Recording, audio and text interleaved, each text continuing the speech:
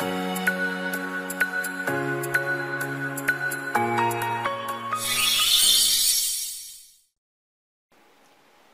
い、こんにちは、レトスノーです。今回なんですけども、準防火地域内の建築制限について解説いたします。前回、防火地域内の建築制限を解説しました。で、防火地域内では密集市街地だったりとか、繁華街だったりとか、まあ、そういった駅前の、え、建物が密集する、え、地帯、そういったところで指定するんですけども、今回の準防火地域っていうのは都市部の住宅街で指定するんですね。比較的幅広い地域で指定されてきます。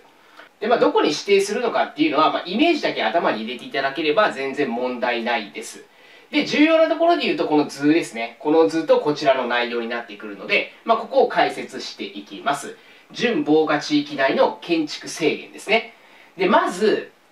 えー、建物の階数が4階以上、これは地階を除きます。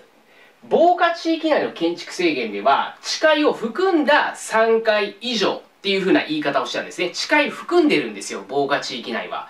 一方で、準防火地域内っていうのは、地階を除くので、地下1階、地下2階あろうが、これは無視をして、地上4階建て以上の建物については、もう耐火建築物等にしてくださいね。っていう内容なんですね。また、延べ面積が1500平米を超える建物、これについても、耐火建築物等にしてくださいね。というルールです。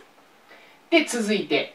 3階ですね。3階の建物、地上階数3階の建物については、準耐火建築物等でもいいですよ。まあ、もちろん、それよりも炎症防止性能が高い耐火建築物等でもいいですよってことですね。3階。また、延べ面積で言うと、500平米を超えて、1500平米以下の建物ですね。まあ、そういったものについても、耐火建築物等でもいいし、準耐火建築物等でもいいですよ。という内容です。なんで、まあ、2パターンに分かれるってことですね。4階以上、地上階数4階以上、または1500平米、延べ面積1500平米を超える建物の場合は、耐火建築物等にしてください。また、3階、もしくは500平米超、1500平米以下の建物については、準耐火建築物等でもいいですよ。まあ、もちろん、耐火建築物等でもいいですよっていう話です。まずここですね、頭に入れましょう。で、続いて、この緑の斜線部分見ていただきたいんですけども、ここっていうのは、地上階数2階以下、かつ、延べ面積が500平米以下の建物です。この建物でかつ木造建築物だった場合の話を今から解説していきます。外壁及び軒裏で炎症の恐れがある部分については防火構造にしてくださいねという話です。地上階数2階以下でかつ500平米以下の木造建築物の外壁と軒裏ですね。これについては防火構造にしてくださいねってことですね。外壁っていうのは、まあ、外の壁ですよね。これ建物と仮定したらここですよね。こことかこことか。で、軒裏ってどこかっていうと、ここです。この部分。この部分が軒裏ですね。屋根が外壁から飛び出していたこの裏部分ですね。これが軒裏です。で、この部分で、まあ、炎症の恐れがある。つまり、どんどんどんどん燃え広がっていく可能性がある部分については、防火構造にしてくださいね、と、まあ、いう話です。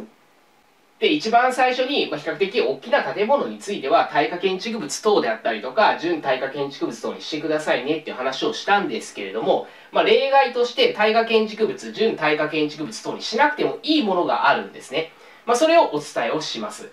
木造建築物に付属する高さ2メートルを超える門とか塀で、炎症防止上の支障がない構造を持つものについては、まあ、耐火建築物だったり、準耐火建築物にしなくてもいいよっていう話です。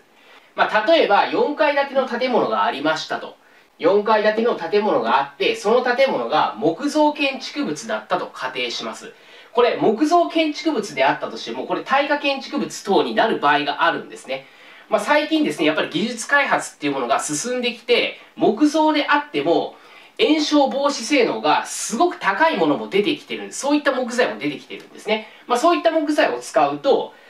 木造建築物であったとしても耐火建築物等に含まれてくるんですよだからまあそういった建物と考えてください。そういった建物に付属する高さ2メートルを超えた門とか塀。まあ、これについては例えばコンクリートだったりとかにしたらこれは炎症防止上支障がない構造になりますんで、まあ、これは耐火建築物とか準耐火建築物とかにしなくてもいいですよと、まあ、いった話です。